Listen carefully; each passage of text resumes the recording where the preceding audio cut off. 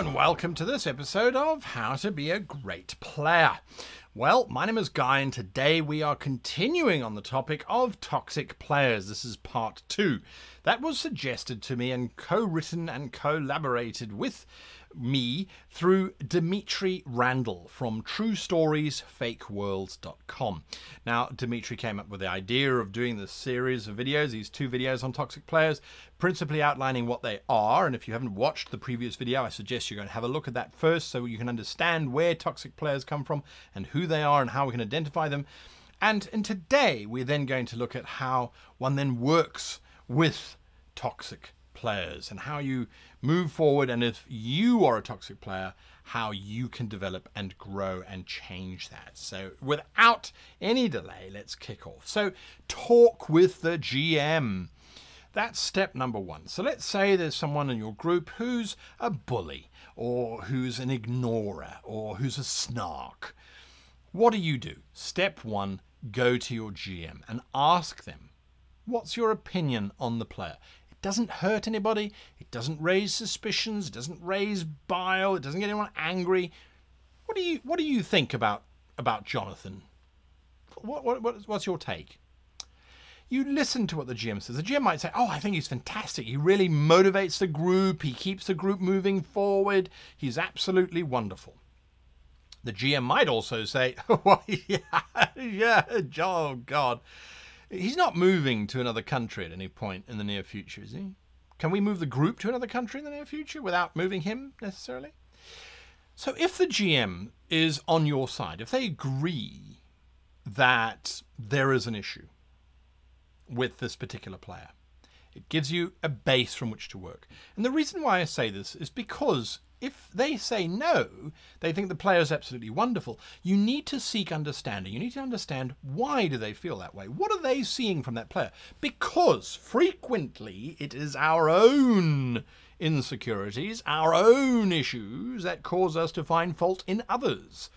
And so sometimes we need that dash of cold water. Why? Why do you think that that that uh, Sarah is so fantastically wonderful? Because she motivates the group, because she makes decisions, she actually causes stuff to move forward. Does that mean that the rest of us procrastinate? Are we perhaps delayers? Are we dullards? Are we we're not decisive enough? So you ask if you are the issue. Let the GM say, well, I don't want to say that you're the issue, but let's just say that Jonathan and Sarah have come to me with the same kind of question because they watched the same video and they're not happy with you. You don't make decisions. You just sit back, and whenever they ask you for your opinion, you don't give it.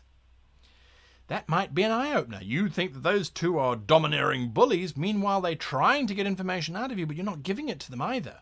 So that means that you're the timid one. You're the viewer, the non participator. That would be an eye opener, wouldn't it? So you need to learn how to get perspective on the entire situation. There's always more sides to the coin than at first meets the eye, so by asking and talking to your GM, you can get that. Now, if your GM says that yes, they agree with you, the person is a problem, or that you are a problem, and they've managed to identify how that is, you then need to try and come up with a plan. All right, well, do we speak to this person? How do we do it? What do we do? What do we move forward on? Now, your GM is not necessarily going to have all of the answers to these kinds of questions. They might be as in the dark as you are. But if you work out a plan, if you say, okay, well, let's see, if they think I'm too timid and I think that they're too overbearing, let me try and be a little bit louder in next week's session. And GM, would you would you do something to help me do that? So the GM can plan a session where your character is literally the center of attention. It's not difficult, and they can do that on the fly. So that is what you should do. Step one, speak with the GM.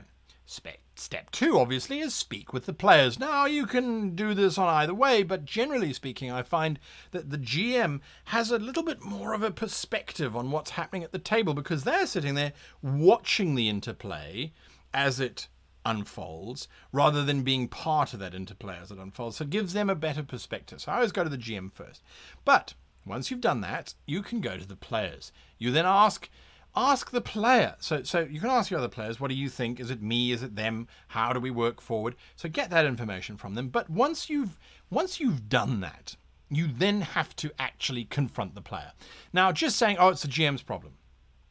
If the GM doesn't have a problem with that player, if the GM is okay with it, you can speak to the player. There's no rule saying that players are not allowed to address one another at the table, especially if you've spoken to the GM and they're happy for you to do that. So you can go to that other player and you can say, "What's what's your intention?" Your character seems to want to focus on being in control all the time.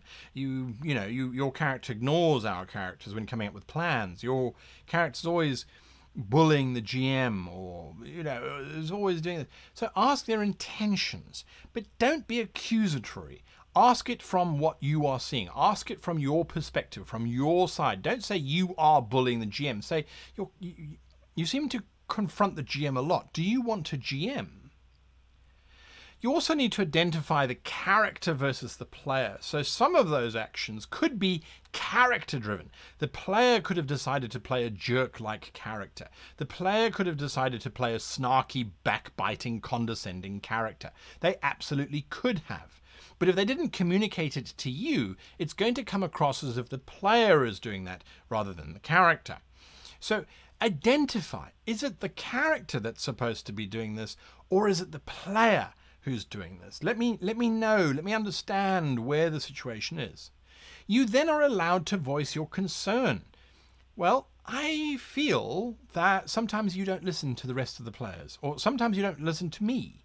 And I want to know is it because I have really stupid ideas, or is it because I don't understand, or is it because you don't think that I can contribute in a meaningful way? Ask them. Voice your concern if they are dismissive, if they maybe see your point, but they, well, you know, just, just speak louder. I'm very loud. You've got to talk louder than I've got to talk because I know that that's never going to happen. Ask for a change. Nothing wrong with that. You know, next episode, next next episode, next uh, adventure. Can can we try that your character listens to my plan, listens to my character? Can we try that? Alternatively, you can give suggestions. If they go, wow, I really ignore you guys? I do that? How can I fix that? Well, you can come up with a plan. Every time you ignore us, all of us are going to raise our hands until you stop talking. And you'll know that you're ignoring us. That will force you to step back and to stop and to give us a space or every time you're doing whatever it is that you do that we don't like or that we feel is a as a negative behavior, we're going to throw our metal dice at you until eventually you stop. Whatever your solution, hopefully it's not a violent solution, but whatever your solution, you need to have a give and take. You need to realize and then you need to support. I didn't put that as a title here, but just imagine that there's a word here support. Support. So you need to support that player. If they're asking for help, if they are trying to change, you need to give them support and say, you know what? Remember, you used to just shout at us all the time. Now you're letting things slide. I think you're doing a great job. Yeah, you slip up every now and again, but you are much better than you used to be. I've personally seen players change. I've personally changed both as a player and as a game master, and so anybody else can, because I'm one of the most obnoxious people you've ever met. So, the alternative find another group. I hate finding other groups because you've got to build into them, you've got to invest in them. However, sometimes it is for the best. I have a personal motto I don't allow toxic people into my life. And when people start getting toxic, I cut them out. I don't need it. The planet is difficult enough as it is to have people who are constantly belittling you and tearing you down. All the self help videos out there on YouTube say stand up for yourself. Go and find another group. Oh, but it's so hard to find another group. Yes, a decade ago it was difficult to find another group. 20 years ago it was really difficult to find another group. Now, however, you have zero excuse. You really have zero excuse. Either if you are the toxic player and you realize that you are a toxic player but you can't change, the rest of the party have kicked you out, you can go and find other groups if you have kicked out the toxic player and you're looking for someone to join, or if you're a GM and you've kicked out all of your players because they're a bunch of snarky, backbiting rules lawyers, and you want to find another group, here are a whole bunch of options for you. There are always more players out there. If you live in the backwoods of a small town in northern Siberia and you have internet, you can find players. You can find tables. How do we do that? We go online. I'm plugging my own little platform here, rpgtablefinder.com. I mention it in every video. WebGoblin tried to make it as the most efficient way of finding people out there. It's very easy. Facebook, there are dozens of groups. One shot Facebook group, this Facebook group for this role playing community, this Facebook. There are dozens of them. And there are little group Facebook group groups. There are subgroup subgroup groups within Facebook. You can find them. Go out there and look. Your local stores. If South Africa can host a whole bunch of now retailing stores that sell role playing products, any country can do that. If your local store doesn't support, well, then there's MMOs. I've got several players, and I tried it once or twice, where you go and play in an MMO, and there's a whole bunch of free ones to play, so you don't have an excuse. Where they do role playing within the MMO, and then you can progress from there. You build up some information, you get some contacts, you build up some friends, and then you take it into a Discord server or into a chat channel or into a wherever. There is no barrier these days to find other people. And of course, this channel itself, if you write a comment below, hey, I'm from Albuquerque and I would love to, I don't even know where Albuquerque is, I, I would love to roleplay with six other people who all like to dress up as pandas when they roleplay. I almost guarantee you, maybe not on this channel, um, probably on this channel actually. I love every single one of you. On this channel, you'll find people say, "Wow, that sounds like a really cool idea. I like to dress up as a panda too." Who cares what you like to do in your own space as long as you're having fun and you're not hurting anybody else? There are people out there. You can find them. These are the resources, and there's more. There's so many more. Roll20, Fantasy Grounds, all those spaces are there.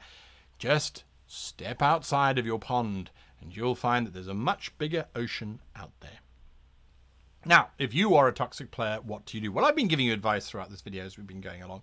So if you are a toxic player, if you realize that you are a toxic player, so if any of this sounds true for you, for you, ask why. Why do you do it?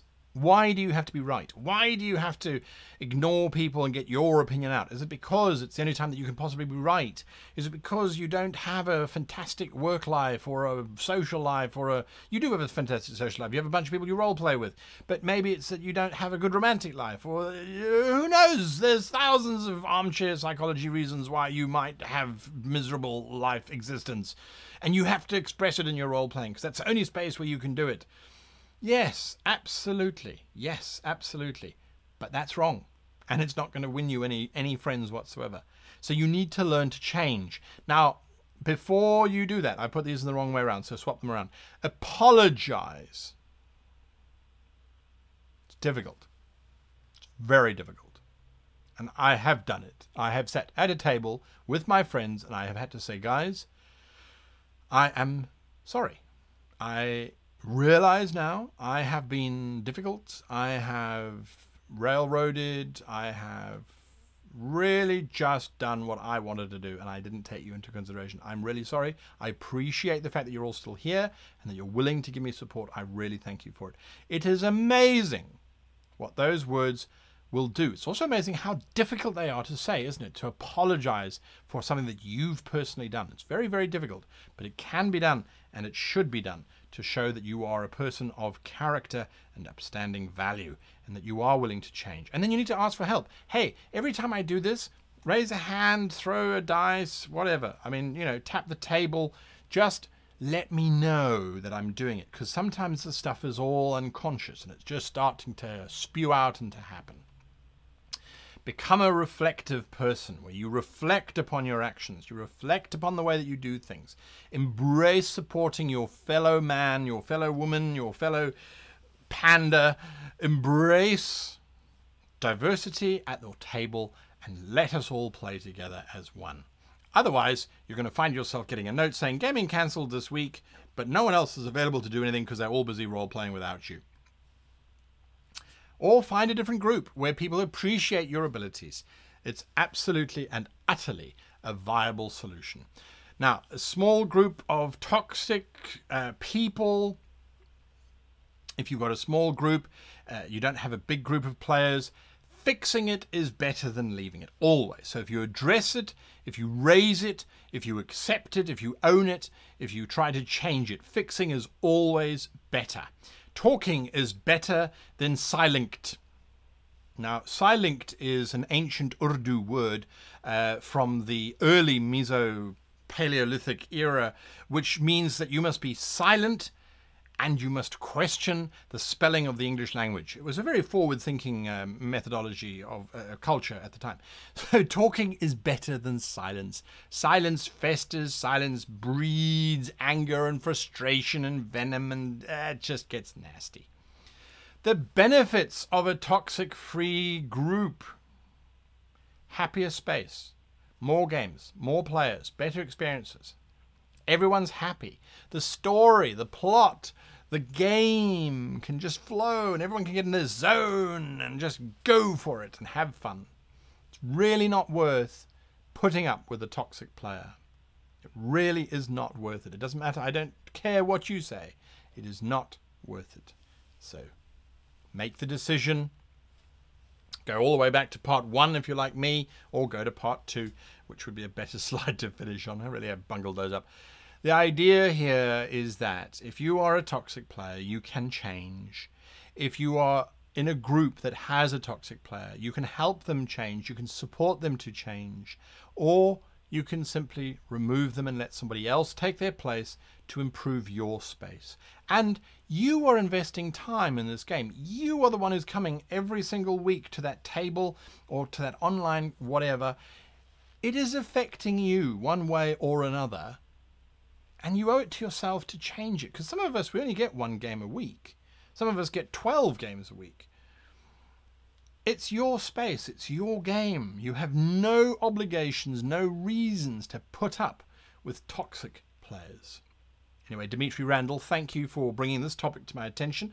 I hope that you, as a viewer, found it interesting and exciting.